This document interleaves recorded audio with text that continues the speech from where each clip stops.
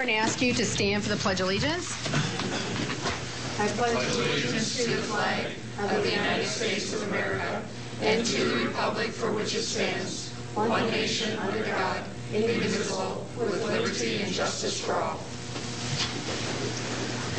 Good morning and welcome to the September 1st, 2015 meeting. I'd remind you to silence your cell phone. The meeting documents are on the end of the counter next to Commissioner Bender in the white folder, and Robert is in the front row. He would have listening devices if you need them. With that, we'll move on to routine business. Item number one is consider a motion to approve the agenda. Is there a motion?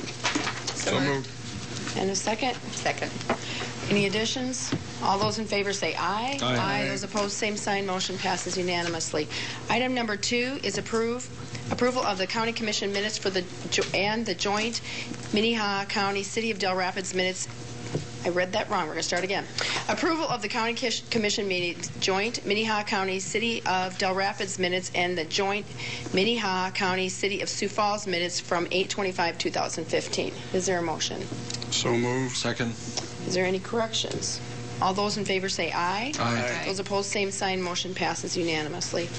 Item number three is bills to the be paid in the amount of one million one hundred eighty-eight thousand four hundred and twenty-three dollars and ninety-seven cents. Pay the bills. Second. And comments, Commissioner Barth. Thank you, Madam Chair. Uh, You know, this week's bills are much higher than we normally have, and uh, there are a few fairly large uh, items included. You know, uh, our budget is uh, $72 million, and that compares to Pennington's uh, budget for 2015 of $86 million. But this week's bills include uh, Armor Correctional Health, which is the jail. We have six bills totaling 327,438. We have 11 bills for concrete materials for asphalt, totaling 174,733.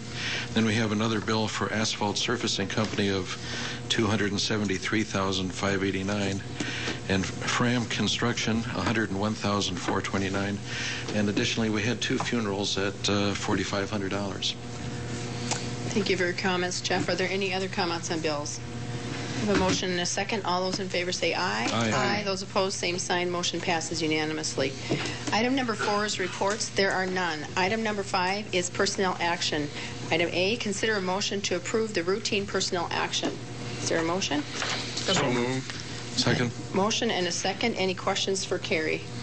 All those in favor say aye. Aye. Those opposed, same sign. Motion passes unanimously. Item number B is recognize significant employee anniversaries for September 2015.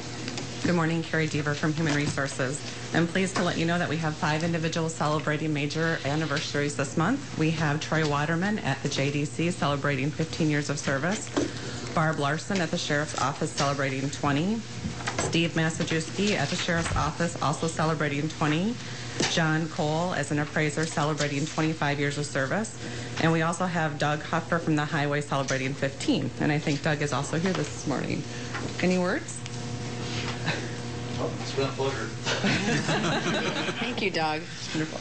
Am I missing anybody else? I think so. But our thanks go out to all those employees, of course. Thank you. Um, Item number C is recognize volunteers in the county departments for 2015. August was another big month, 243 volunteers in nine areas of county. Can't do it without them, so our thanks goes go to them as well. Thanks, Carrie. Thank you. And I'm just going to throw in here while Carrie's standing up here that our Human um, Resources Department and staff is an integral part of all of our departments in Minnehaha County. This is um, is recognition of Human Services Week, or should I say day? I'm not sure which it is. Um, and we, who works in the office is um, Jen Adkins, Tiffany Willard, Maggie Gray, and Julie Disberg, and of course Carrie, um, under the direction of Carrie. And they bring respect and fairness and professionalism to the county, and they they um, put that out there for the rest of them to mirror what they do. And we thank you for what you do. Thank you. Thank you. Pleasure to be here as Yeah, well. Thank you. Item number C is application for abatement. There are none. Item number seven is notices and requests. Item A is to authorize the county auditor to publish requests for proposal on all, for on-call blood draw services in Minnehaha County Jail. Kirsten. Thank you, Commissioners. Uh, Before you this morning is a request from the State's Attorney's Office for your permission uh, to solicit proposals for on-call blood draw services uh, provided at the Minnehaha County Jail. Uh, A few uh, changes recently prompt this request. Before 2013, uh, the jail was able to provide those uh, services to all local agencies pretty much at minimal or no cost by having uh, jail medical staff perform uh, blood draws under the current uh, status of the law at the time because of a U.S. Supreme Court case that came down in 2013 as well as uh, some shift in jail medical policies. Jail medical is no longer able to do that at minimal or no expense. So uh, we are left with having to utilize an outside on-call blood draw service to perform uh, blood draws that are uh, prompted by uh, people who are not giving up their blood consensually, essentially.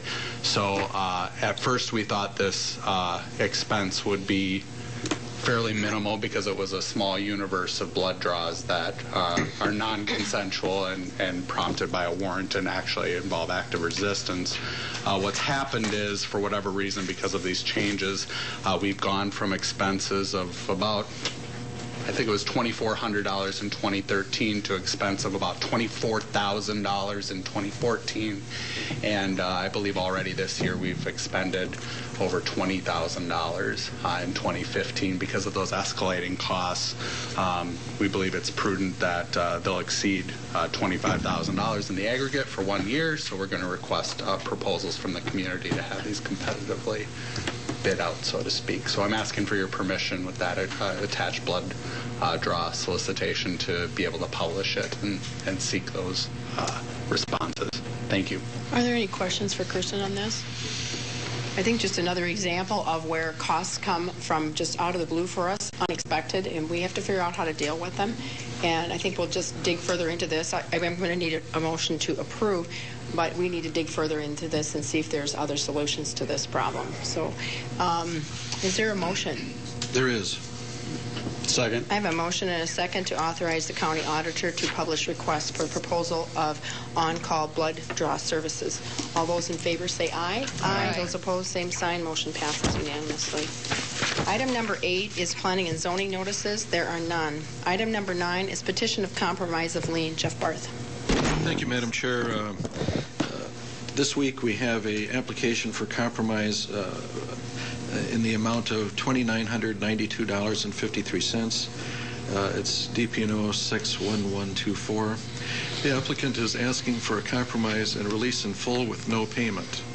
All county assistance was provided for poor relief in 2006 and 2007. In 2007, the applicant made three partial payments totaling $150. Uh, As we know, uh, when we do give assistance to indigent folks, uh, we actually do place a lien on them and uh, hope at some day to either have them repay us or collect. Um, CCOG contacted us uh, about this applicant who is attempting to purchase one of the governor's houses on Walts Avenue in Sioux Falls that was donated for redevelopment. Uh, Minnehaha County provided that land through a donation of a tax deed property. Through the home buying process, this lien was discovered and must be resolved. The applicant has completed all other steps required to assume ownership, but closing on this is scheduled for yesterday. CCOG is aware the commission cannot act, cannot act on this application until today. Uh, The applicant gets a monthly retirement income of $1,067. She showed her um, 2014 tax return that listed an adjusted gross income of $2,593. She has assets of about 600 in the bank, a 2002 Ford Explorer, and collectibles worth $178 has no debts but pays currently $760 a month in rent. So again, um, we have an applicant who, it, it's certainly not, as uh, Commissioner Kelly worries about, something with the public defender or public advocate. This was uh, uh, relief for, uh, uh, because of poverty. And although they've still owe us a considerable amount here, $2,992.53. They did make an attempt to pay off some back uh, a couple years ago, and uh, I really although we're not going to dun anybody, and although there's no interest on this, uh, we do have the opportunity to help this person uh, move into a home that they would then own. And so I'll make a motion to uh, uh, to accept her offer of uh, no payment, and uh, hope I get a second. I have a motion to compromise DPNO 61-124. Is there a second? I'll second that. A motion, a second. Is there any comments? Well, I should say, is the applicant here? The applicant is not here. Okay, so comments, Commissioner Beninga. Well, I will just say that she's got significant uh, medical issues, and there's probably no way that she's ever going to be able to go back to work, even if uh, she wanted to. And frankly, uh, putting her into this program will get uh, her back on, or get this property back on the tax rolls, which will benefit us more than continuing trying to collect this lien from her. Any additional comments? Okay, I have Robert. Commissioners, I would just uh, uh, add one note, and I, I did update the memo, and I, I don't know why it didn't load into Dropbox. I, I, but I spoke with Lynn Killer Forbes at the end of the day on Friday, and that lo- that uh, closing has been uh, postponed until there's a resolution of this lien. So I I just didn't want to leave that hanging out there. That's that that's on hold pending this uh, this action. Okay. I have a motion and a second. All those in favor of compromising the lien in full, say aye. Aye. Those opposed, same sign. Motion passes unanimously. Next item is opportunity for public comment. If there's anyone who would like to speak on something that is not on the agenda today. And seeing none, we will move on. On to regular business. 9 a.m. is a public hearing to receive comments or input on the 2016 Minnehaha County Annual Budget. Carol Muller. Good morning. Good morning, Commissioners. Carol Muller, Commission Administration Officer. Yes, on July 28th, you approved the provisional budget. Today is the hearing on that provisional budget, and we are also providing you with additional uh, options, if you would choose to, for, for adjustments that you may choose to make. The provisional budget stands at $79,777,112. And this is an opportunity for the public to comment on the budget. If you would like at this time, I'd be more than happy to go through some of those adjustments that um, have been presented to you, if you'd like me to go through and do that. If you just start at the top of that sheet that you have, I'll work our way down. The first one is that the Air Guard is proposing to fund an additional FTE, so you see that there is associated revenue and expense money for that. Uh, Revenue of 65,000 with expenses of $50,000. The next line item is that the forfeitures within the courts have been trending up, and it is proposed to increase this to 90,000, increase this an additional $90,000. The catastrophic medical pool has dwindled the past few years, and we are proposing to decrease this $40,000, which would bring us to zero for reimbursement. And to date, Minnehaha County has not submitted anything to catastrophic fund. There may be one on the horizon possibly coming along, but at this point, uh, we're budgeting nothing for reimbursement for next year. We're not anticipating that we may have anything this year, and last year we had expenses of $7,000 on catastrophic and rev, we had expenses of $22,000 and revenue of $7,000. Uh, We increased the JDC contract by, thank you, we increased the JDC contract housing by $35,000, and that came from Jamie Gravitt, recognizing, uh, as he looked through the budget and updated that a little bit. There are new dollars from the state for juvenile diversion as coordinated by the state's attorney's office, and we've put in $50,000 for that. At the end of August, we receive an update on the centrally assessed utilities, and this would be increased by $2,865. There is a correction on the split between the general fund and building fund for $26,120. This amount was removed from the building fund and added to the general fund. And then anticipated invested interest from debt service would be 70,000. Any questions at all at this point on the revenue? The adjustments? Go on, Carol. Thank Okay, you. thank you. Expenditures. Human Services is proposing to decrease hospital bills by $100,000, with $50,000 being redirected to housing and rents. That would be a net gain of $50,000 for the budget. We have a contract with VOA for two non-secure shelter beds for juveniles that we are proposing to eliminate. We have, always have three beds as part of the original contract in exchange for the building that we have provided to them. Last year, or a little bit before that time, we put in place an additional two beds. The way the diversion is going and the way uh, JDAI is working, we're not using those two additional beds, so we're proposing dropping those for next year. We would restore $65,000 in cuts to mental illness. The pictometry contract requires an additional $12,000 next year, and that would be in planning and zoning. The jail has done some rearranging of staff between sergeants and corporals for a savings of $45,000.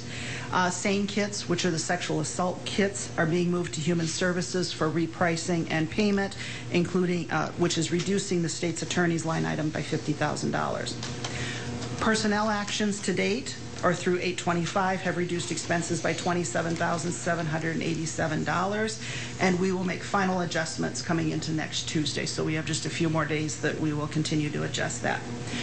Last week, you approved redoing the audiovisual equipment in this room, moved that into this year because we can't wait any longer. And uh, that means that we can put 45,000, there's $45,000 less in expenses for the building fund for 2016. The fire fund tax districts would have an additional, it would be an additional expense of 9,414. And we have also had commissioners who have requested the budget be looked at for additional support for Forward, Sioux Falls, and Makita. So those are the adjustments that you guys have had all on one page. Appreciation to the auditor's office and the department heads for going through one more time and continuing to update this as we move forward. To summarize all those changes, if you were to adopt all these changes, you would have a general cash fund applied of $3 million, $3.9 million and would have an opt-out of 1.5 million. In June and July, you expressed a willingness to look at a cash applied number of up to $4 million, so we are staying below that. We have also decreased the cash, the opt-out from the 1.7 at the, uh, at the provisional budget down to 1.5. So within that, you can balance those numbers a little bit, and I know that the auditor's office would appreciate some direction as to how much for that opt-out and how much for the, um, for the cash applied. Any questions for Carol at this point? Okay, I'm just writing notes, sorry. Yes. Okay. Um, Discussion on, um, I think we should talk about Forward Sioux Falls funding. We have left this one open. We have in the past given them $500 a year over five years. Um, I would like to encourage us to at least bump that just a little bit. Any thoughts, comments? I, I agree with you. Um, I think that what they're bringing into the tax base, whether it's in Sioux Falls or whether it's out in the county, is significant. And uh, uh, we do we do fund Makita, but it, but we don't do much for Forward Sioux Falls, and um, I think I think that would be a good investment. And they're I think they're in the middle right now, or they're I don't think they 2021 program or whatever it is. Right, working, working on that. Um, The other thing is, is when I talked to um, some people involved with it, they did say that if we decide to give X number of dollars this year and our budget honestly can't handle it next year, that we could back off on the amount that we had given from year to year. So 2016, if we gave, Would you Something we propose can go still to change. 2,000 or what? Um, I don't have any proposal, but is that a motion? This would be. I'll make a motion for 2,000. You can make a motion to put $2,000 in the budget for Forward Sioux Falls, and this would be for 2016 Correct. year. Are there any, is there a second or a comment? I'll second that. I have a second, motion and a second for um, $2,000 for Forward Sioux Falls. Are there any comments on that? Commissioner Beninga? I think it's important that uh, all forms of government, along with the business community, are part of that process so that prospective clients who may come to this area look at uh, cooperation and consolidation, if you will, and supporting any new development. And frankly, property taxes are the only significant revenue source we have, so increasing that economic development uh, process is a good thing for all of us. I have a motion and a second for increasing Forward Sioux Falls for 2016 to $2,000. All those in favor say aye. Aye. Those opposed, same sign. Motion passes unanimously. Then let's go on to Makita. Um, Comments on Makita's? Madam Chair, um, I am liaison to Makita, and I suggested that to staff. Uh, We've gone several years without increasing our contribution, even though the other communities in the county have, and so I've suggested uh, making our total contribution to Makita be $5,500 instead of $5,000. Comments? I'll second that. Okay, I have a motion from Jeff to increase Makita to $5,500, seconded by Commissioner Beninga. Any other comments on that? All those in favor say aye. Aye. Those opposed, same sign. Motion passes unanimously. Um, This is a public hearing, and maybe we should move on to that part of it. Is there anyone who wants to speak in favor of the budget at this point? Anybody wants to speak in favor? Is there anyone who wants to speak against or raise issues against the budget we've put together? Well, that's nice, because we've spent a lot of time on it. Um, Okay, then let's go on to the opt-out and the cash applied amount. At this point, Carol says we have an opt-out of one, we're using 1.5 of the opt-out that we voted on, and I believe we voted on $3 million in July. 3.5. 3.5 in July. At this point, we're only using $1.5 million of that opt-out money, and we have, um, what was the cash applied? Uh, $4 million in cash applied funds. Commissioner Barth. Well, I guess, Madam Chair, I'd like to ask uh, the auditor staff if they have a recommended number. Certainly, uh, I'm I'm really happy that we're not having to take the full amount of our opt-out at 3.5, but I I don't think we should uh, uh, cut ourselves too too close either. So I'm I'm wondering what their thoughts are. Okay. I see Kim Adamson coming to the microphone. Good morning, Commissioners. Kim Adamson from the Auditor's Office. Um, What this schedule that you're um, reviewing right now was meant to demonstrate is just that we did have room to bring the opt-out level down by $262,000 and still keep our cash applied level below that $4 million number. Um, We don't anticipate that the only really, the only open items left um, to consider before we finalize would be any personnel actions over for that would be approved next week. We don't anticipate that's going to change the numbers significantly at all. Um, we do want to uh, adopt an opt-out figure that's a, a round number, obviously, and so our recommendation was the 1.5 million. Any questions for Kim? All right. Any additional questions or comments on the budget?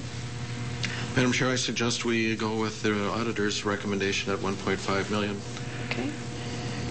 I'll second that. I have a motion and a second to go with the auditor's recommendation of $1.5 million opt-out.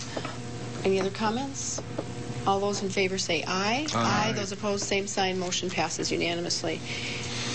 Going to make a comment, and that is as we continue to move forward, we still have a few things in our budget next year, the year after, that if we do not receive any revenue stream from um, this from the state or some changes in how things are run, we will continue to cut probably outside agencies and non-essential items. And I don't want to say non-essential because they're all essential. We've already cut out anything we thought we could cut out. But there are agencies out there that we are not mandated to fund, and we will be moving forward at some date, if nothing changes, with cutting some of those and um, pushing them forward to do some of their own work instead of de- depending on the county. Carol, did you have a comment? Commissioners, I would just ask for some direction. Do you want to do a public hearing next week again? Are you anticipating any number changes? Just as you look ahead, you have next week's meeting. The following week, we do not meet because of the state conference uh, for commissioners and elected officials in Pierre. And the following week, you will be adopting on September 22nd, which is a week earlier than, uh, we didn't know if we do the 22nd or the 29th. So just wanting to get a little bit of direction from you, because we have one meeting before, left before we adopt. Okay. I don't have anything additional to add to the budget after today. Any other Anybody want to revisit this budget next week? No, No. I won't even be here. I don't either. I don't either. I think, I think we've worked long and hard on this. I think we, uh, we really struggled with a lot of things, and, and I, I think we've come out with the best plan we can. Uh, I'm, I'm very pleased that we're only using 1.5 of the opt-out. Uh, I think that was kind of our, uh, what we intended initially when we put the opt-out, but you had to have enough flexibility there to, to meet future costs. So I, I think we're pretty much ought to leave it alone, and, except for the personnel requirements, or personnel requests that come in. So, Okay, additional comments? Madam Chair? Commissioner Barth? I, I just want to say thank you to my fellow commissioners because uh, uh, when I started nine years ago on this, uh, our budget process does not did not resemble what we do today. We didn't look at anything line by line. In fact, uh, one of my fellow commissioners said, "Well, I trust our department heads," and I said, "Trust but verify," and they said I should change political parties. but uh, the the fact is that we really put our nose to the grindstone on this, and uh, you know, Commissioner Bender, you might uh, were you surprised at uh, how hard it was on the budget? Uh, because it really it, it's changed over these last many years, and ever since uh, things hit the fan in like 2009, we've really worked hard on it. I would agree that it was a lot of hard work um, without a lot of um, easily apparent answers. And um, an opt-out is not necessarily what anybody here wants to do, but I, I think that we did what we had to do in order to um, meet the basic services that we're mandated to provide. And I would say again that if there are not some changes come forth by the state in the next year or so, we are going to continue to raise property taxes, which raises people in Minnehaha County's taxes. There's a better way to do this, and people need to be brave enough to move forward and figure out how to fund counties. We are not the only county that has significant problems. There are different problems in different counties, but they all revolve around the lack of funding for counties, and they need to look at this differently. Things have changed in the last 75 years significantly. So we would need a motion. Do we have to have a motion, or was this just a hearing? We don't need any motion. To accept the changes? No. We, we did each change individually, so we do not need a motion for Okay, that. and we have direction for finishing this up and presenting it to you on the 22nd. Thank Okay, you. that's what we're going to do. Item number 11 is discussion and review of the City of Sioux Falls, Minnehaha County Partnership efforts. Mayor Mike Huether, and welcome to our house. Uh, Thank you so much, uh, uh, Chairperson Heiberger. Really appreciate the opportunity, and fellow commissioners, I want to thank you as, as well. Um, Just give you some quick background.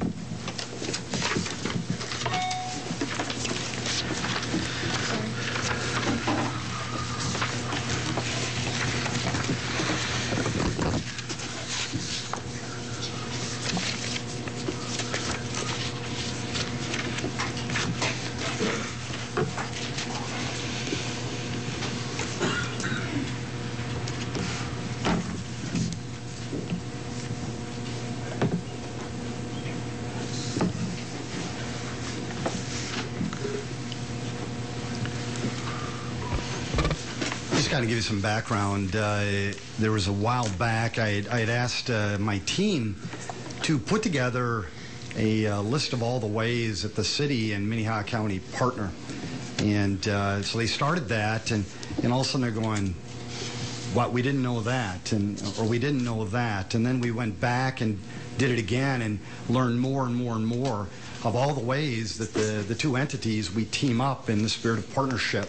Uh, my intent today is to just kind of give us a, a brief run through of the various ways that we do partner. Uh, and I'm also going to have Heather uh, present to you a document which goes into much more detail all of the different ways that uh, our two teams partner. Um, Commissioner Bender, I think that uh, you'll find it uh, very, very eye-opening, uh, just just like we did, and, and I think that you'll find, even though Commissioner Barth has been on this uh, this journey for nine years, uh, I think he's going to also learn some things today. Uh, my presentation isn't intended to be a scorecard in, in any way, and who pays what is is also not uh, the intended message. Uh, really, it's to talk about all the different ways that, that we do partner. I also want to introduce you to Jeff Schmidt. Uh, Jeff is here today, and he also is a liaison with Minnehaha County uh, and the city to, to try to, again, try to identify the other ways that uh, maybe we can partner in, in the future. Um, let, us celebrate what we accomplished together. I'm going to break this up into, into three different ways facilities, programming, and, and land use and, and zoning. And again, this is not a comprehensive list. I'm not going to discuss every single way that we do partner because we'd be here for a long, long time. It's really just a, a big picture review. Let's start with facilities. Uh, probably the, the one that everybody's aware of is the Law Enforcement Center, opened in 2003. City owned, but actually constructed on land provided by the county. Uh, if you look at uh, the, the, the, way that we collaborate, whether it be the, the Emergency Operations Center, training space, indoor firing range, meeting rooms, so much goes on at our Law Enforcement Center. Uh, also, we've got these uh, these things that we do together, whether it be you know the drug task force, uh, fugitive and violent offender task force, internet crimes against children task force, SWAT teams and bomb squad. Uh, if, if, if we need our SWAT team uh, uh, someplace outside of the city and somewhere in this county, they're there working together.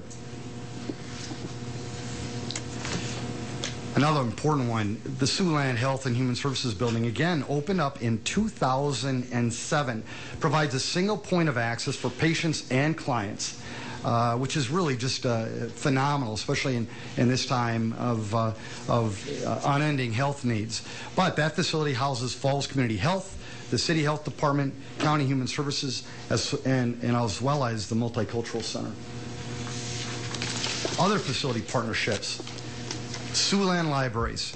Again, uh, we work together in collaboration to provide uh, libraries, not only in just the, the city, but also in uh, outside of the city. Baltic, Brandon, Colton, Crooks, Garretson, Hartford, Humboldt, Valley Springs, and then, yes, we also have a traveling bookmobile that goes throughout our city and throughout our county. Uh, and yes, a, a, digital branch that's open 24 by 7 uh, that anybody can certainly utilize. Siouxland Heritage Museum. The county administ- thank you. Thanks, sir. Uh, the county administers, and this this is a joint, a jointly funded um, um, a work. Uh, we've got the old courthouse museum, Pettigrew Museum, and again uh, a partnership uh, in, in in a grand grand way. The sanitary landfill. Uh, we work with 32 different cities and five counties with our with our landfill. Uh, certainly Minnehaha County being, uh, being one of the, the, the, largest. The fairgrounds. The county owns and operates the, the fairgrounds, of course. Uh, and the city is blessed to utilize these uh, these fairgrounds for, you know, police training. Uh, you're kind enough to let us put our, our leaf and, and tree drop off there in, in the fall or, or during an ice storm uh, as well as uh, you're also kind enough to let us uh, pile our snow there at, uh, at times. Uh, and then certainly we, we try to do our part to, to help as well. Um, don't know if you're aware, but we put about a thousand tons of asphalt uh, on the fairground lots each, each year. And I, I hope you don't mind, but within our budget this year, I did recommend uh, that we, we add $75,000 to improve the, um, uh, the, the, restroom facilities out there because the reality is uh, the Sioux Empire Fair is a huge win to the city of Sioux Falls. Uh, a monster win in, in so many different ways, not only economic development, but also quality of life wins. And, and so, again, this partnership that we've had at the W.H. Lyon Fairgrounds uh, is one that, that I just uh, am thrilled by and uh, I certainly hope we, we keep it going for, for generations. Other facility partnerships. A, a rather unique one uh, that, that I don't know if everybody knows about is, is the Perry Nature Area, which is owned by the county and is on the east side of Sioux Falls. The property is certainly owned by the county, but the city, we develop and we maintain a part of that property as part of the Mary Jo Wagner Ar Arboretum. Um, and then, of course, uh, the other the other way that we partner is we talked about this earlier was the multicultural center. Now, some program partnerships. Uh, public safety is is just uh, the the number one item uh, that that all folks care about. Uh, because if our families don't feel safe, uh, there is no there is no quality of life. Thank you, Heather. Um, uh, whether it be, you know, crime lab services that the city provides and we partner with the county, whether it be blood alcohol, substance and fingerprint testing, evidence storage and crime scene processing, uh, the sex offender registry, uh, and then again, the county is there too, providing things like background checks, blood draws for DWI arrests, and yes, a, a sobering center. We share costs with detox services, 911 dispatch services, the Emergency Operations Center, and yes, the Police Reserve, uh, Reserve Emergency Management as well. Health and Human Services. Um, again, medical and dental services are provided to both city and county folks. Uh, the Homeless Advisory Board, Homeless Warming Shelter, and I'll bet you didn't know, because I didn't know, that the city provides 40,000 ride tickets, free ride tickets to human service agencies within the county. Uh, and the, the county certainly helps coordinate uh, that, that distribution. Election support. Uh, elections don't happen in the city on their own. They certainly uh, they don't. And it's the county that uh, provides the, the bulk of the of the help for that, uh, whether it be absentee voting or ballot tabulation on, on election day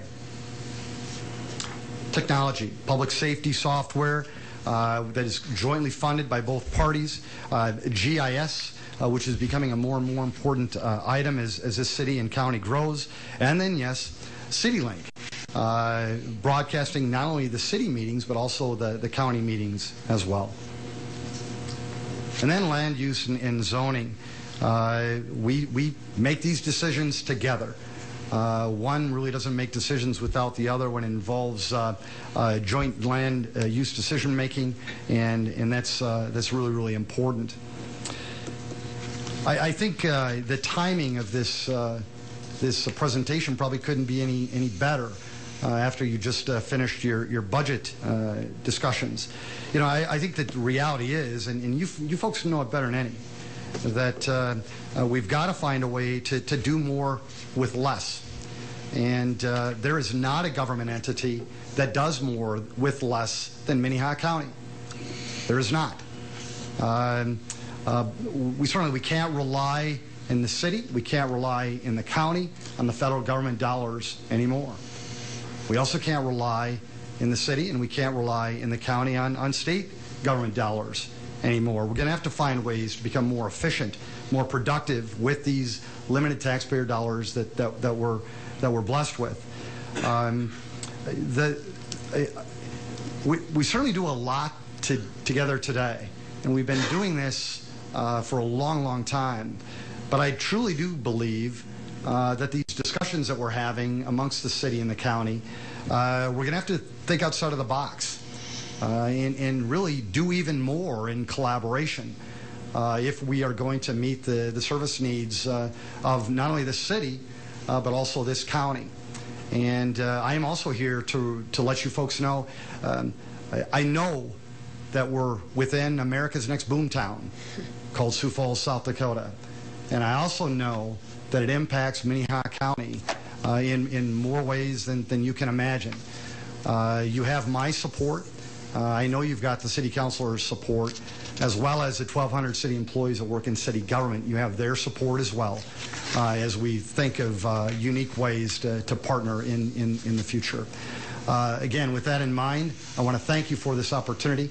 Uh, the, the presentation that, uh, that Heather handed to you, if you're ever interested, you'll find that there's probably double or triple the other ways that we partner. Uh, but again, uh, I didn't want to spend more than a couple minutes today uh, talking with you. So on behalf of the people, thank you so much for your service. I don't know if you have any questions or comments. Uh, that was not my intention, but if you do, that, that's fine too. Uh, I respect uh, uh, uh Chairperson, uh, it's up to you. Okay. Other questions for Mayor Huether or comments? Madam Chair. Commissioner Barth. Thank you, Mayor, for coming and seeing us. Again, I've been here nine years, and I don't think a mayor has visited us before. Um, you know, I think a couple things. Your comment about the growth of our community going forward, uh, I'm absolutely in agreement with you. It is a little bit difficult when we see, you know, your budget going up by virtually the same amount of just going up the same amount as our actual budget. And, you know, at 64 million with us having a budget of uh, near 80 million, I mean, but I, I, agree with you that we are looking at a boomtown, and I, I, I, hope we can find a way to keep up with you. The the fact is that our revenues are growing at, uh, you know, 30% of the revenues of the city and the state, and and yet our responsibilities are increasing at an even greater level. And uh, I think, you know, as we look at getting a, a, workforce for our community going forward. You know, it's nice to have parks and all this, but we need we need good jobs, and we need, you know, this crime issue.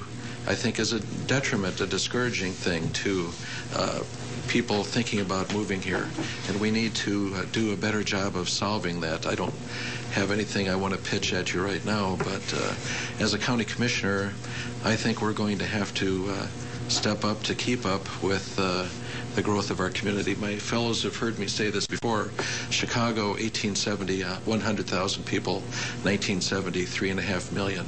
And, uh, you know, we need, uh, we need bigger facilities all, all the way down the line. And uh, there's much more I could say to you, but uh, uh, we, we have to.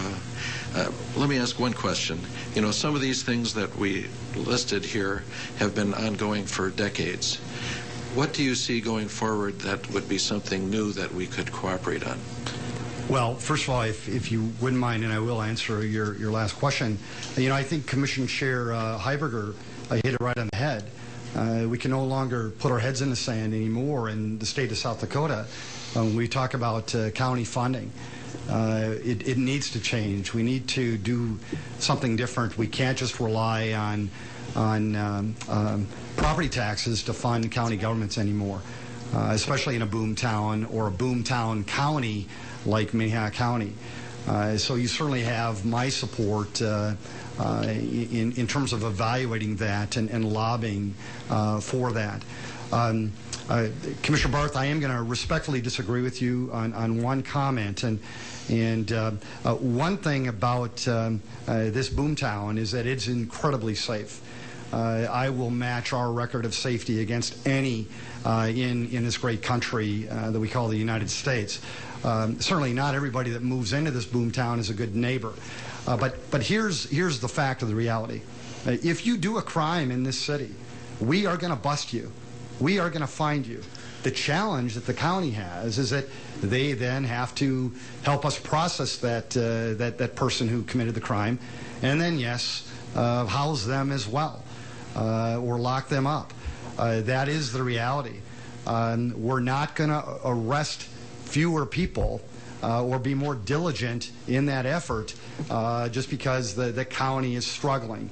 Uh, and I don't think that's your intent either, Commissioner Barth, at, at all. Um, so, again, we've got to find additional revenue sources. Um, uh, we'll help you with that. there has been some out-of-the-box thinking in terms of you know, finding those uh, those funding sources. Um, some of those I, I certainly uh, concur with as, as well. Um, in, in terms of uh, how we're going to have to collaborate in the future together, um, I'm, I'm a business person. I am. And so for me, uh, we have to look at all those ways that maybe we are potentially even duplicating services today. And uh, if we can find a way to eliminate those, um, I, I, think that's a good thing, and I think that's what all of um, all taxpayers in, in Sioux Falls and in South Dakota and in Minnehaha County want us want us to do. Now, uh, it's going to be tough uh, because we each have our own little silos too. And uh, but I think that these discussions that uh, you know the council is is having with the commission uh, that'll help break down those silos. Conversations like this, uh, where the mayor of Sioux Falls comes in and talks to the county about collaborating, thinking outside of the box, doing things different, um, uh, encouraging folks to get their head out of the sand. Uh, those are things that also will uh, will help us in in, the, in that effort. And I said us. I didn't say you. I said us. And I think that's, uh, that's what we'll continue to, to do. It's going to be hard. Uh, it's going to be controversial, but I think that those are some of the things that, uh, that we'll have to continue to, to work on. Uh, I'm here for two and a half more years and, and would be happy to, to help in that effort uh, as well. You know, we, we talked about even the, uh, the new city building that we have proposed and how we can partner with the county to utilize that space to create maybe this, this metro government area. Uh, and again, those are some of those things that as we grow, not only in the city and the county, we'll, we'll have to uh, continue to, to tackle.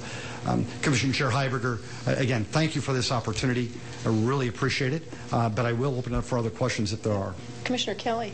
Um, Mayor, I want to thank you for coming today. I think uh, we appreciate this conversation going on. Um, As you know, the funds for our, our funds basically are property tax. Yes. Uh, And, and we rely heavily on that. Uh, At your signing yesterday, which I congratulate you on, you. it's been a long struggle.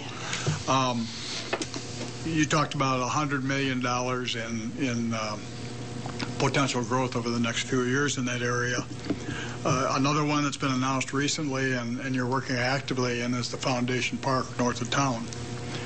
Uh, The only way we really share is if, yeah, if these go into TIFs, we have, you know, we, we, we don't share in it. And you get an immediate impact, one with, with sales tax dollars, but you also get the impact of, uh, put down the road uh, of the uh, 15 or whatever it is, 15, 18 percent of the property tax dollars.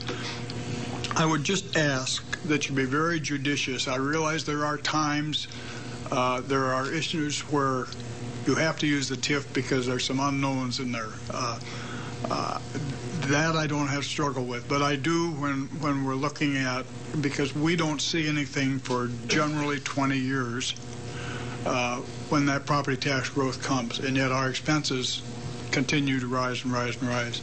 So I just ask that, in, you know, you continue to be very, very selective in what you're doing with the TIF programs. I, I believe in TIFs, but at the right place and the right time. Uh, generally, I think, you know, it, it, they plug it into their whole uh, forecast on, on their development, and that really shouldn't be. It should be at the end of the development when they project everything. They're short here, and it won't work without it. And uh, so I, I applaud that in the past you have looked at them pretty carefully. I hope you will continue to look at them very, very carefully. Commissioner Kelly, thank you. Um, to be fair to, to your comment, uh, we've never utilized TIF as much as we have since I've been your mayor. Uh, in fact, we've doubled the number of TIFs in just five and, in five and a half years uh, from all the TIFs that we've done prior to Sioux Falls history. Um, so, yeah, you, you should demand um, um, that we that we scrutinize these TIFs, and, and I will assure you that, that we are. Um, and it's interesting. Uh, sometimes the more that we scrutinize these, uh, the more that we you know challenge and do our due diligence, uh, the more scrutiny that we also get uh, out there and among some within within, within the public. Um, uh, that um, uh, one of the things that we've we've done uh, in the spirit of trying to let people know that we're not just giving these things away, is now we're actually coming to the county as well. Uh, Darren Smith, Brent O'Neill, we're talking to you folks about these TIFs before we just spring them out there. And I think that's again uh, another important uh, aspect of, of this collaborative this collaborative effort because it gives not only an opportunity for the city to uh, to scrutinize them or ask questions, it gives the county commission the opportunity to ask questions and to scrutinize them as well. And so, yes, uh, Commissioner Kelly, you certainly have my word, as well as the work of uh, the city team, uh, that, that we will continue to scrutinize these. And one other thing, uh, the councilors do too. Uh, you know, we certainly, it it is really one of the only tools that we have in city government uh, to kind of stimulate development. And these, that is the, that, those are these TIFs. Uh, but we certainly want to use that, that tool selectively. So, Commissioner Kelly, thank you. If I may. Commissioner Kelly. Uh, I'd also hope maybe you'd consider, I know there's a group that kind of does the initial uh, look at these TIFs, because I imagine your requests are extremely higher than, than what you grant. But uh, it would be nice if we had a county representative of some sort on that, on that group so that early on, because oftentimes by the time it gets to us, and this is not a criticism, but by the time it gets to us, it's kind of almost a done deal. And, and we look like the bad guys on the development Yeah. side. Whether it's in the city or in the county, it's, it's extremely important to us. And, and if we have a seat at the table early on, I think it would be uh, productive. Commissioner Kelly, thank you. I'll talk to Darren and Brent about that uh, uh, today. Okay. Any other questions or comments? Madam Chair? Yeah. I'm sorry, go ahead, Gerald hasn't spoken. Um, Again, thank you for being here. My And pleasure. Frankly, thank you for uh, your efforts in making that uh, rail yard happen, because I can remember way back when, when we got the uh, grant, and I was kind of involved in that. But uh, it's amazing to me it takes this long for the railroad to move forward and the governments to move forward to make this thing work. But I'm using that analogy only from the standpoint that I think that, frankly, if if we were to look at government in today's environment and say to ourselves, is this the way we would do business 20 years from now? Most of us would say no. And I really think that, uh, you know, we have to start with that premise is to start conversations and, frankly, education of who's responsible for what. Because uh, it's amazing to me when I was a city commissioner, I paid little attention, frankly, to what was going on in the county. And now that we're into it knee high or higher, uh, you pay obviously more attention to both sides of the process. And I, I'm, what I'm suggesting is that maybe we ought to start talking about some joint discussion with some outside independent processes and educations to be able to look at this at a different viewpoint than just internally. And um, I think if that happens, we may come up with different forms of the way we do business. Uh, Commissioner Beninga, uh, first of all, I commend you for your, your comments. Um, I have taken scrutiny uh, over the last five and a half years, and then even a year when I was running for mayor, uh, when I've oh, when I've said the following, you know, we need to uh, run government more and more like a business, Um and and we do, we do. Uh, because we are getting, we, we are having to, to, to do more with, with less. Um, and uh, again, I'll, I'll reiterate it. Uh, I don't think there's another county in, in the state uh, that, that does more with less than, than Minnehaha County. Um, but you're but you're right.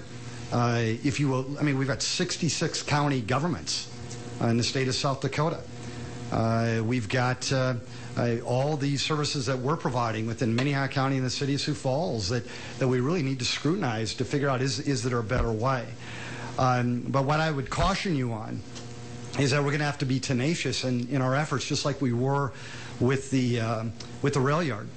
Uh, it's going to have to be tenacious. And you're going to have to deal with the scrutiny that's going to come uh, as you start to peel away the, uh, the, the, the, the silo. Um, and so, again, you have my commitment to Commissioner Beninga that, uh, you know, I'd be happy to help uh, tackle that. Uh, Commissioner Beninga, I, I know you personally uh, would be willing to, to tackle that. Uh, and, and I just think it's one of those things that we're going to have to do. Uh, we are.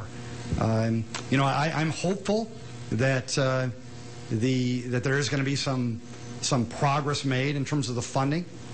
Um, but I'm also a realist. I've been talking about this for a long, long time, and uh, something needs to be done. Uh, I hope that maybe this is the year uh, that, that, that that will happen. Uh, but you're going to have to keep fighting, and you're going to have to keep, uh, keep digging, and uh, you're going to have to stay tenacious. Okay. Commissioner Barth, do you have the comment? I, I just want to follow on about our little crime issue, and let me say that we are a very safe city. Thank you, Commissioner. the, just like with Apple Computer, to have them do a 5% increase in sales, you know, uh, Jeff and Mike's uh, lemonade stand, it's a lot easier to get an increase in sales. Uh, so the perception from people that see that in the last uh, five years we've had a 37.7% increase in violent crime, it, it's it's a little scary. But it doesn't mean that it's you know going on on every street corner. Then there's the perception that we and this body is partially responsible for. We're we're contemplating building a much larger jail. Yes. Uh, you know our a larger community does need a larger jail, but somehow as we have people moving in, we can't allow the Sioux Falls nice thing to be lost by an influx of other people. We need more uh, good jobs like the Eros Data Center and stuff, and we need to uh, find ways to deal with mental health, uh, drug and alcohol addiction, and uh, that's a that's a joint issue for all of us, uh, whether it's religious, law enforcement, government, uh, or just being somebody's friend. But the perception is is is difficult, and it's going to discourage people from coming here unless we solve it. We we just talked about this the the other day. Um, it, i- it is it is truly amazing uh, how often we work with mental illness challenges uh, right now within within city government, and, I- and I know you're dealing with it in in county government. Uh, Carol shakes her shakes her head. Um, I, you know, the reality is uh, is that we're not going to find a, you know a cure for alcoholism. We're not going to find a cure for drug abuse. We're not going to find you know a, a, a cure for all the mental illness challenges that are out there. Um, and because of that, uh, you are going to have the bulk of these violent crimes uh, happen because one of those three things are, are involved. Uh, that's the reality. And um, uh, I, I don't have a good answer for you today, Commissioner Barth. Uh, my mom was the head nurse at the uh, Human Services Center for over 30 years. Uh, so I know the challenges of uh, uh, mental, mental illness. Uh, my dad was an alcoholic for most of his life. Uh, I know the challenges of alcoholism. Um, uh, I also know that drug abuse uh, is is one of the biggest reasons why we have, you know, a, a robbery at a quick stop, or we have someone, uh, you know, busting uh, into a uh, into a casino and and wanting wanting this or that. Uh, I don't have a good answer for you today, Commissioner Barth, uh, but the reality is reality, and that is. Um, uh, we're we're going to have to deal as this city grows, as this county grows. You are going to need to build those bigger jails to house the most violent offenders that the city of Sioux Falls will catch. We're going to catch them. You do the crime in this town, we're going to catch it. And we do. I like our record, Commissioner Barth. Um, the challenge is that, again, you have to house them when we do catch them, and we're going to. Additional comments? No, my turn. Yes. I just want to say, you know, thank you for coming and Thank for um, for educating. I don't think so much the commission because I think most of us are well aware of what type of partnerships because we're constantly looking for somewhere else to how can we make this work better. Example being that we, with the city council and um, Lincoln County, we have been working together over the last year and. Um, to come up with efficiencies in different departments. I actually sat with Jeff Barth on the planning and zoning once, and we did come up with more efficiencies with planning and zoning. We looked at equalization, and we looked at the Register of Deeds office, and um, met, I believe, monthly, Jeff, um, and came up with some significant changes on how counties and cities can work together, and like I said, included Lincoln County.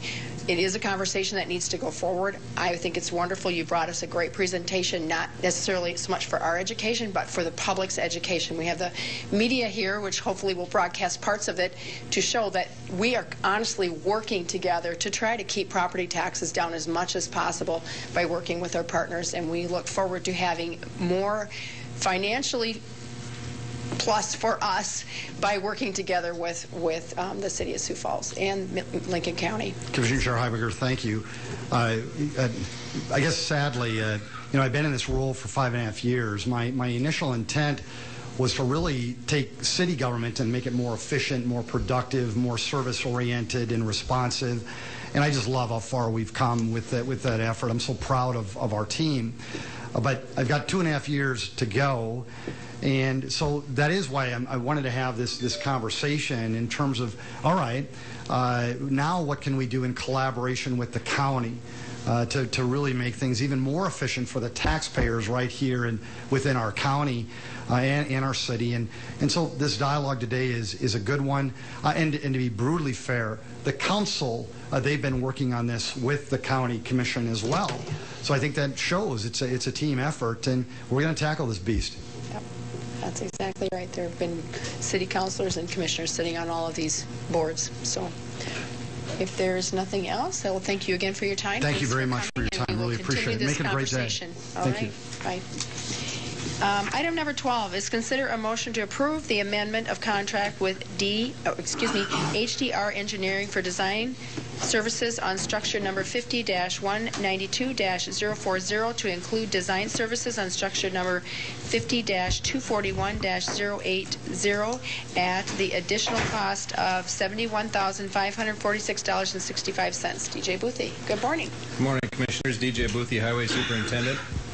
In February, uh, we were approved to go forward with a contract with HDR Engineering to start the design and uh, plan preparation for a low slump overlay project uh, for a structure on County Highway 110. Uh, shortly after starting that design, uh, we found out that the uh, west abutment had some se- severe structural issues and were advised to correct those along with this project, uh, which we thought was a good idea.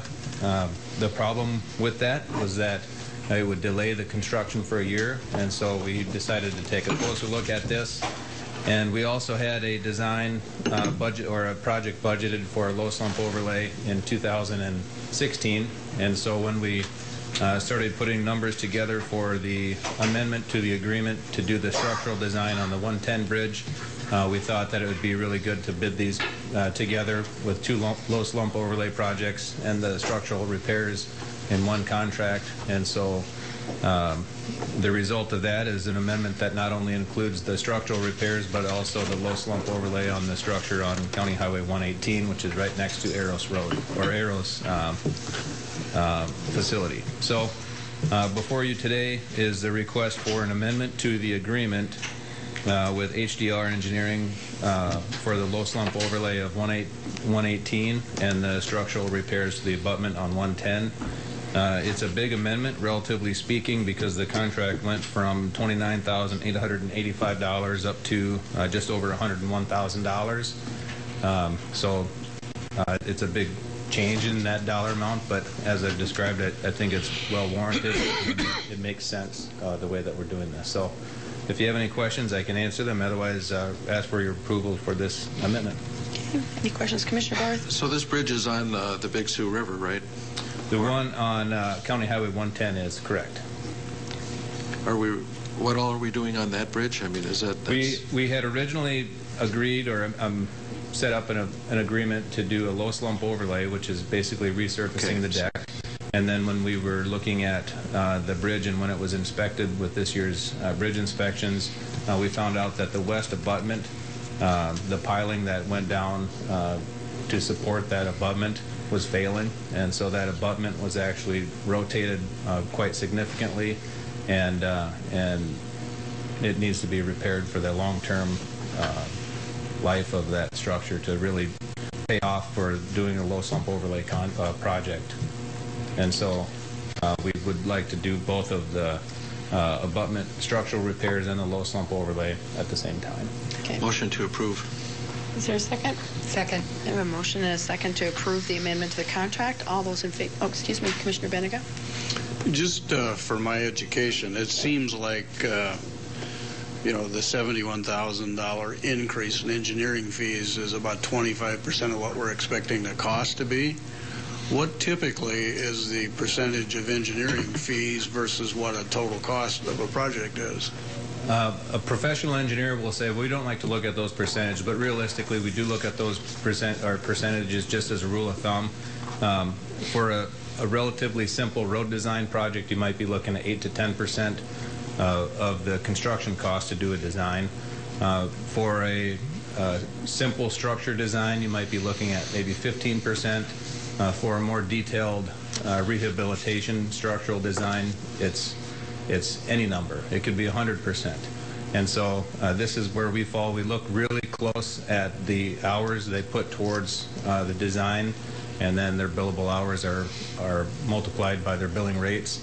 Uh, HDR is a very well-qualified structural team, and so their um, billable hours are, are good. Their billable rates might be a little bit higher than uh, some other companies, but that's because we're paying for a really qualified structural engineer to work on the contract. So we are comfortable with, with the high percentage of, of a fee to construction estimate, uh, acknowledging that this is not a normal structural design. Okay. I have a motion and a second to approve the amendment um, to the contract with HDR. Any other comments? All those in favor say aye. Aye. Those opposed, same sign. Motion passes unanimously. Item number 13 is consider a motion to approve a change order number one in the amount of $10,417.05 to the contract with Zacharias Construction for project number MC 14-17, repairs to 13 FEMA reimbursable site damage during the June 2014 flooding. Commissioners, in accordance with our purchasing policy, uh, we are to come to you before we close out a construction project uh, for a final change order, and that uh, change order just uh, matches the actual field quantities with a new contract unit. And so um, we use a little bit more quantities than we had originally estimated in this uh, contract, uh, to the tune of just over $10,000. Most of that came from some additional asphalt on one of the sites, and then extra controlled density fill on multiple sites. Uh, Both of those items are, are somewhat difficult to estimate when you're, when you're doing a rehab project, and so um, uh, here it is for your approval, and uh, we need this uh, to go through before we process the final pay application. Okay, any questions for DJ on this one? Look for a motion? So move. Second. A motion and a second to approve change order one in the amount of $10,417.05. All those in favor say aye. Aye. Those opposed, same sign. Motion passes unanimously. Thanks, DJ. Thank you. Item number 14 is consider authorization for the JDC to submit a grant application to the Sioux Falls Area Community Foundation for spot, for spot grant in the amount of $1,250 for dispropor- for disproportionate minority confront, oops, I can't, DMC, disproportionate minority contact conference. Excuse me, Melissa Buffalo and Jamie Gravitt. Thank you. Good morning. Um, We're here today just to request your permission to apply for that spot grant. This will be our second annual uh, conference that we're putting together. Uh, It enables us to uh, train service providers throughout the community and and uh, probation officers, uh, all kinds of people that are going to be working with minority youth to reduce our numbers of minority in the system throughout from arrest to disposition. Uh, today in the detention center, 80% of our population is minority.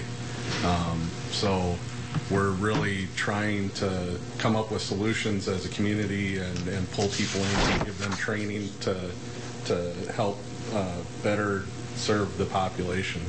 Uh, Melissa's here to answer any questions that you might have regarding the grant that we're applying for or the conference itself, if you have questions for her. There are questions for Melissa regarding this conference. I attended, um, I believe, one session last year of the conference. It was very, very well attended.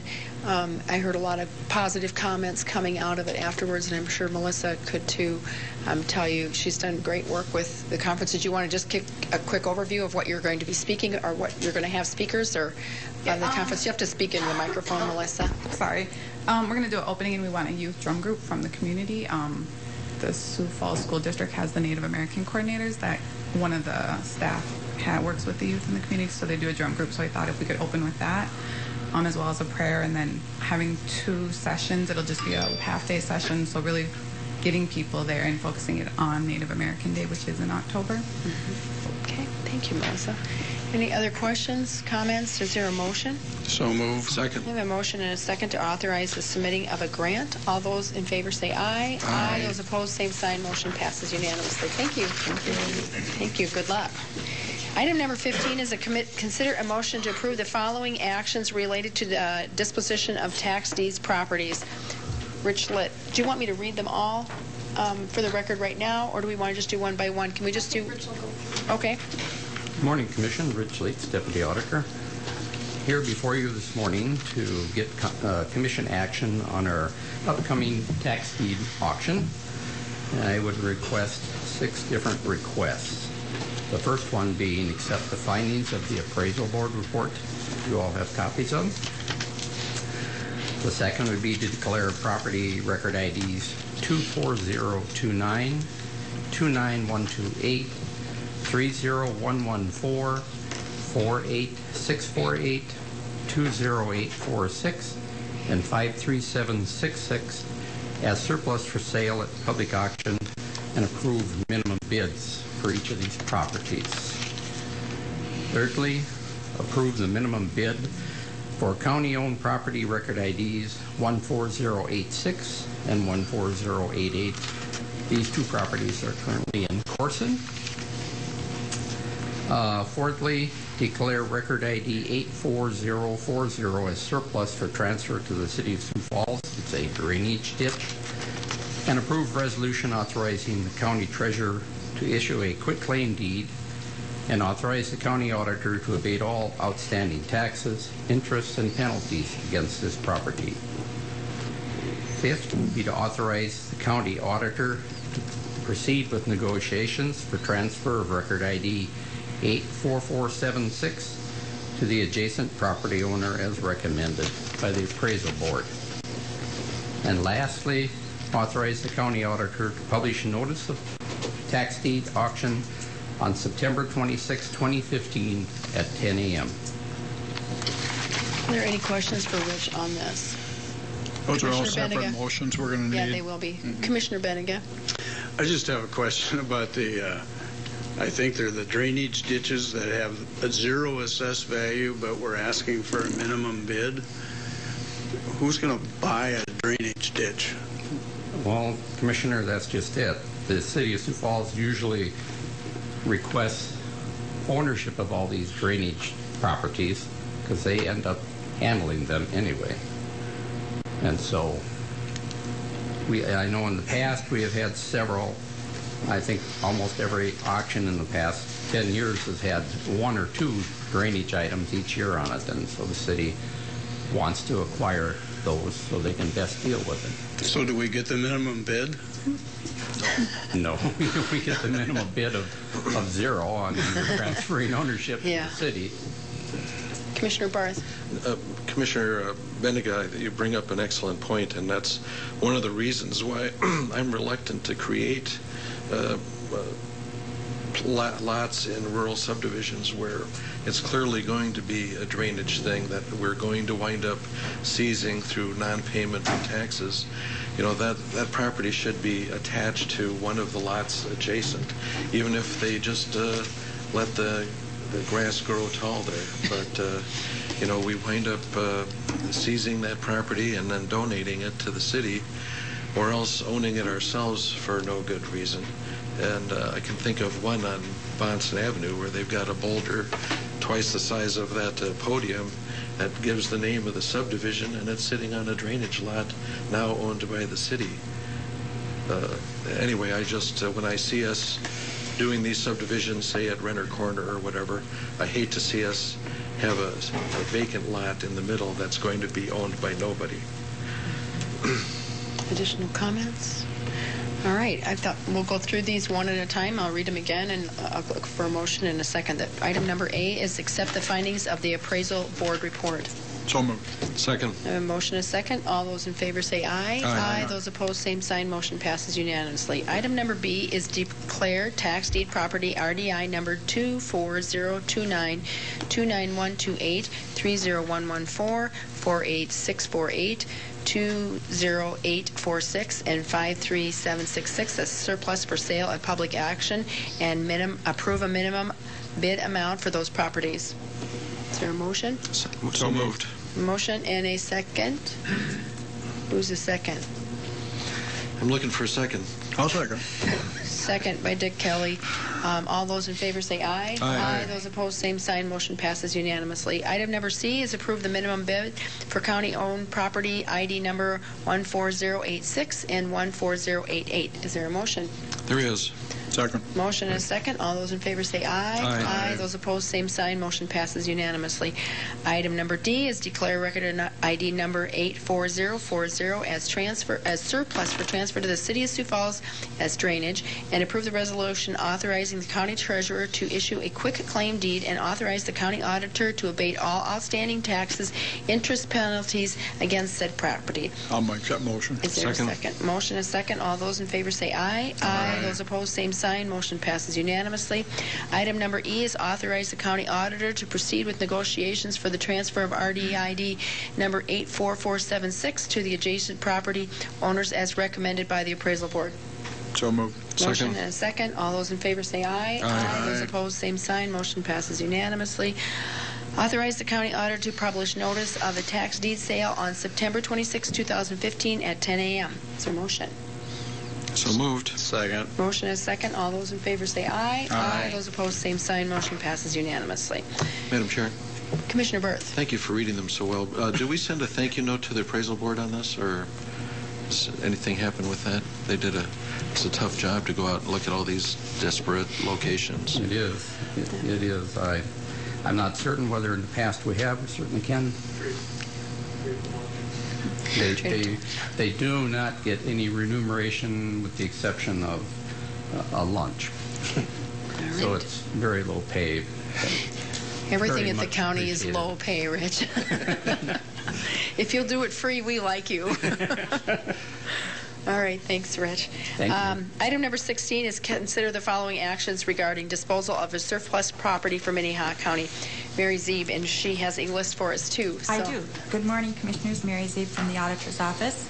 Um, Each year we have an annual, uh, we participate in the annual surplus auction that's uh, set up and run by the City of Sioux Falls. I put in uh, my briefing memos, I think it's paragraph two, a little bit about what has happened up to this point, but I would answer any questions for you new people if you had any. Um, Otherwise, I would ask for you to um, I, I think I could re- read through the items that require your action, and then I'd like to go back and revisit Exhibit B because it's a little different this year. That's the one regarding su- uh, surplus to um, nonprofits. So first we have, um, we ask that you would take action to uh, approve a motion to authorize the auditor to publish the notice of sale of the um, surplus property sale that's held September 26th this year in conjunction with the City of Sioux Falls. Item B is a motion to declare property on Exhibit A as surplus for disposition at the auction. That's just items to be sold at the auction. Um, C is a motion to declare property on Exhibit B as surplus for purposes of donation to outside agencies. And uh, D is a motion to declare property on Exhibit C as surplus, surplus for donation as scrap. And if any of those items on that list look familiar because they come from the jail kitchen, they are not the same items that came before you two weeks ago brought by Mark from Facilities. These are additional items that Mark is taking out of the jail, and they'll be lumped together and then sold as surplus. But if I may speak to Exhibit B, the items that are surplus for uh, nonprofits, is that okay? Yep. All right. Um, Generally, this is not a very big list. We don't have very many um, offers. We send out a list to nonprofits that request a list of the items that are available. They go through it, and generally, they don't have many requests. However, this year, the list, I believe, is eight pages long. So, and it's a little different. There's a little different organizations involved this year, and your list is in, not in um, group order. So I'm going to read the um, nonprofits that have asked for donations this year. And I would like to remind you that if you decide to donate something to a nonprofit, it has to be a unanimous donation. And if you decide not to donate to the nonprofit, we need to have it declared surplus so it can be sold at the sale. Okay. So with that in mind, this year the nonprofits requesting donations are the Colton Fire Department, Compass Center, Garretson Ambulance, PCs for, for People, the Retreat at Pointers Ridge, Sioux Falls Diversity Council, Sioux Falls Geological Society, and St. Francis House. Um, most of those I'm sure you recognize as being local organizations. The one that probably sticks out as being something unfamiliar to, to you is PCs for People. Included with your briefing information should be a uh, cover letter from PCs for People. They are out of St. Paul, Minnesota. I don't know how they got our name, but they called um, requesting information if we had any surplus computers that they would be that we would be willing to give them.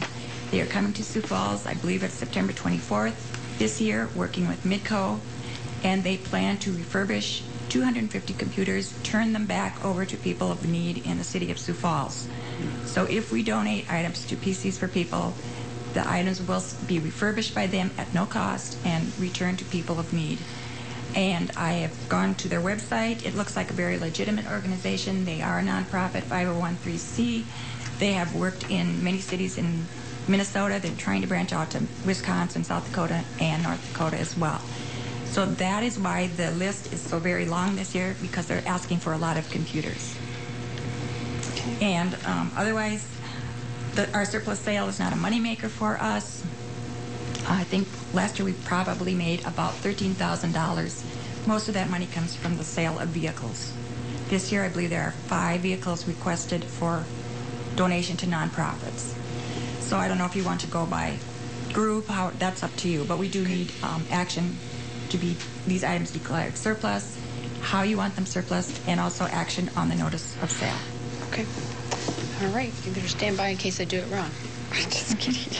Item number A is motion, motion to authorize the auditor to publish notice of sale. So moved. Second. I have a motion and a second. Any comments on that one? All those in favor say aye. Aye. Those opposed, same sign. Motion passes unanimously. Item number B is a motion to declare property on Exhibit A as surplus for dis- d- disposal at a public auction. Is there a motion on that So one? moved. Second. Motion is second. All those in favor say aye. Aye. Those opposed, same sign. Motion passes unanimously. Now, the next one is the, could be the tricky one, I- is, this is the motion to declare prop, oopsie, motion to declare property on Exhibit B as surplus for purposes of donations to outside agencies. Um, Mary read you the list of outside agencies there. You had the list of what they were asking for. Are there any that you would like to pull out and look at individually? Do you want to do them all the same? Um, I mean, we can lump them into one if you're okay with everyone who's asked for surplus, and they're okay with that. If you don't like that, we'll have to pull it out and then treat one specific one differently. Madam Chair, I'll make a motion to approve, but I do have questions slash comment. I have a motion to approve all donations that are listed for the outside agencies. Is there a second? Second. A second. Commissioner The Barth with a the question. PCs for people, I'm, I'm interested in them. I just, we, we should make sure that they follow through correctly on, on that at some point. And I will work um, regarding Commissioner Barth's comment. I will work with Trish from IT. I know she'll probably probably be interested to know as well which items they're going to be getting, and make sure they pick them up. And I have a contact person. We can call them and talk to them when they're here in Sioux Falls working. The time couldn't be better. The timing of their coming to Sioux Falls couldn't work better for our surplus action. Commissioner Kelly? Well, I I think that's a great idea. Did you happen to call any of the references, uh, any of the counties that they've already dealt with? And I did not. Um, I did, however, have them send you the um, little um, PCs for People letter, and Yeah. they do give you a reference. I did not call that reference. If you want me to, I will. I think we should. I, I mean, I don't have a problem with this, but I think we should call at least one of the references. Or if you want Robert to do it, that, you know, that's fine. Carol and I talked about this before. Um, I even pursued it further, and she felt comfortable, so we did go ahead and bring it before you. Yes. Um, Just to let you know, too, that the, when they are in Sioux Falls, it's actually sponsored by Mid- Carol, Mid-Continent. talk into the mic. It actually is sponsored by Mid-Continent Communications when they come in in September. So we appreciated the fact that there was a local Okay. organization working Okay, with them. I'm comfortable with that. Yeah. Okay. Um, Any other comments or questions? Okay, I have a motion and a second to declare property on Exhibit B as surplus for purposes of donations to outside a- agencies. All those in favor say aye. Aye. Those opposed, same sign. Motion passes unanimously. And I think I remember last year that computers went for next to nothing. So They do go for next next to nothing, and we don't even get a dollar amount for. We, there might be several on the list when it comes back from the city of Sioux Falls with no dollar amount attached, and then there'll be five dollars for one, and then there's a whole list of nothing. So we really do Yep. get nothing, Nothing for them. for It them is the anyway. vehicles that bring us the most money. Great. Okay, and item number D is a motion to declare property on Exhibit C as surplus for disposal as scrap. Is there a motion? So moved. Motion and a second? Second. All those in favor say aye. Aye. Those opposed, same sign. Motion passes unanimously. Thank you. Item number 17 is Minnehaha County Liaison Reports. Are there any liaison reports? Madam Chair? Commissioner Barth? Just a quick item, uh, you know, we had some uh, issues with pot- potential sponsorship at the Sioux Empire Fair, and I'm sort of happy to say that uh, Campbell Supply has stepped up uh, to make uh, a continuing donation to grandstand events of a significant amount. And uh, uh, anyway, I just want to make that comment. Yeah, thank you, Commissioner Barth, for bringing it to our attention. I did get a note on that also, and I will say Campbell Supply has done significant things at the fairgrounds over the years, and we greatly appreciate their support of that venue. Is there any new business? DJ Buthe has some new business for us.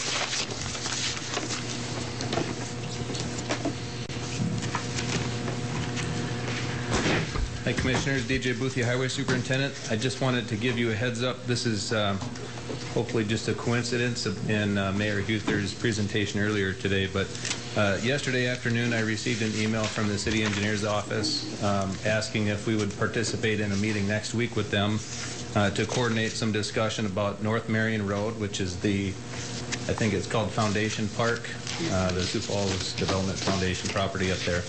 Um, They're looking at doing a preliminary grade line of Marion Road from the interstate up to County Highway 130, which is about two and a half miles. I've seen a few different exhibits uh, showing the proposed park, and they all have different boundaries along Marion Road, and so I'm not sure what exactly the boundary will end up being as far as where the annexation occurs. Uh, But it looks like approximately uh, 1.5 miles north of of uh, Marion Road interchange will be where the annexation stops. And then there's something like a half to three quarters of a mile of township road that will be remaining until County Highway 130. And that uh, road currently is under the jurisdiction of Benton Township. And I can almost guarantee you that if the city of Sioux Falls builds a paved road um, up until the end of their jurisdictional limit, uh, that Benton Township will be throwing up their hands and, and here asking you for assistance and having the county highway department take over the remaining uh, half to three quarters of a mile. And so just trying to be on the front end of things, uh, I will be attending that meeting next week.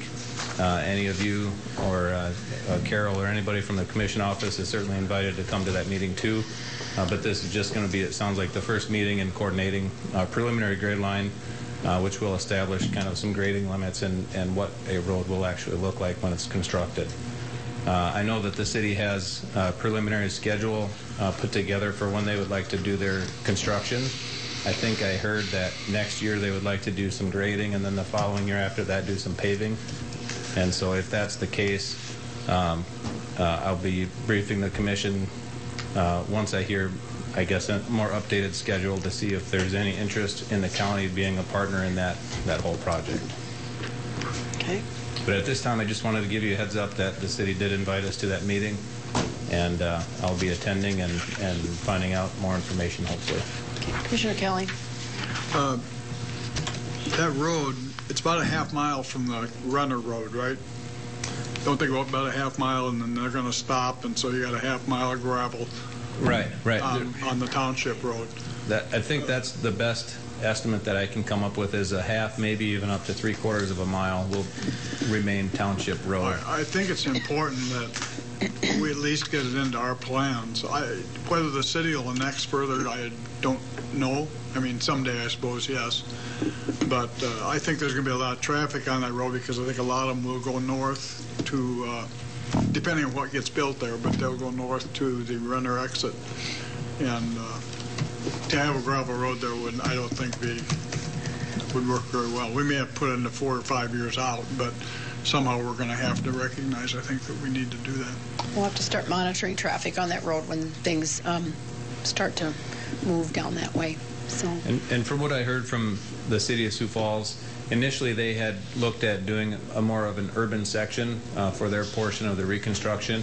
Uh, but the last I heard just a week and a half ago was that they're looking at doing a rural section, which is similar to what we did on La Mesa Avenue, um, where they they have an existing gravel road. They might do some grading to take out some hills or some high points or low points, uh, but then they just grade, uh, uh, grade and, and pave two asphalt lanes.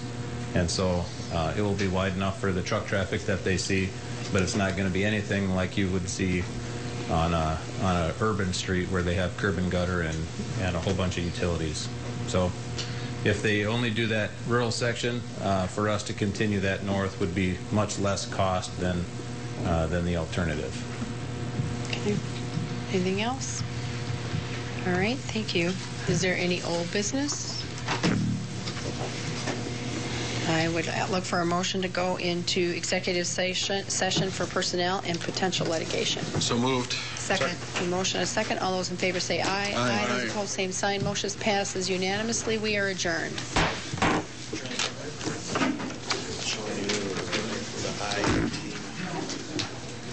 Yeah, I think so. I've seen it someplace. Yeah, that's.